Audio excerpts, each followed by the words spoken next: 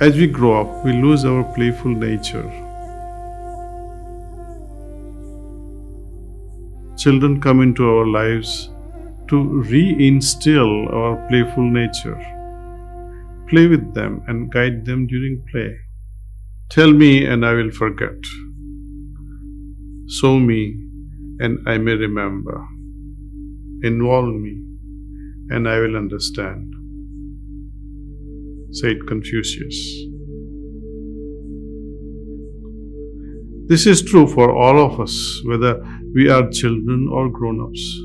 So, the key to instilling good habits in children is by becoming a role model.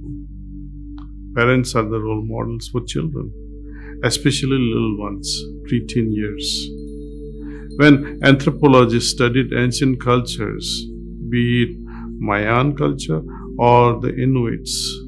What they found was that children were involved at home from an early age, making the bed, setting the table, cleaning the home, and so on and so forth. Parents in these cultures took extra efforts to ensure that the children were actively involved.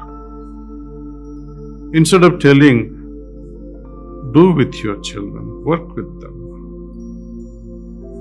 You want them to go to bed. Change the routine at home to facilitate early bed times. You want them to read, then read with them. Make it playful and not instructional. As we grow up, we lose our playful nature.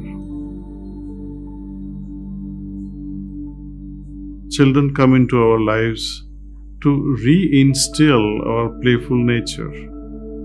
Play with them and guide them during play.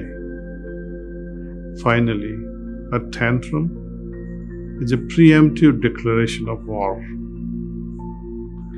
De escalation is the key. If we confront a toddler having tantrum, they will match us decibel for decibel.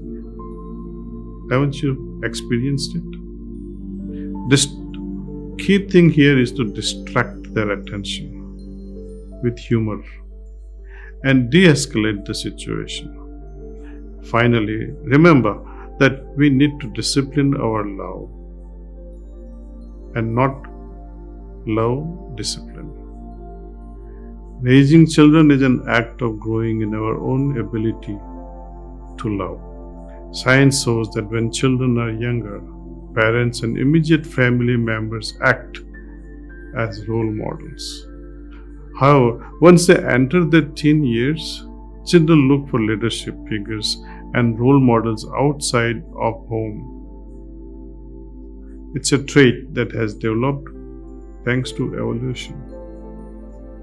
As kids grow up, it becomes difficult for parents to give direct advice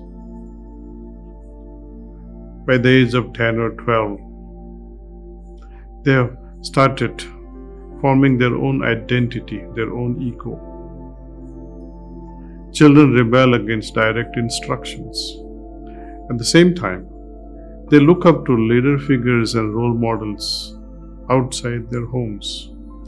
Look out for these members in your family and community whom your children look up to and share your concerns with them.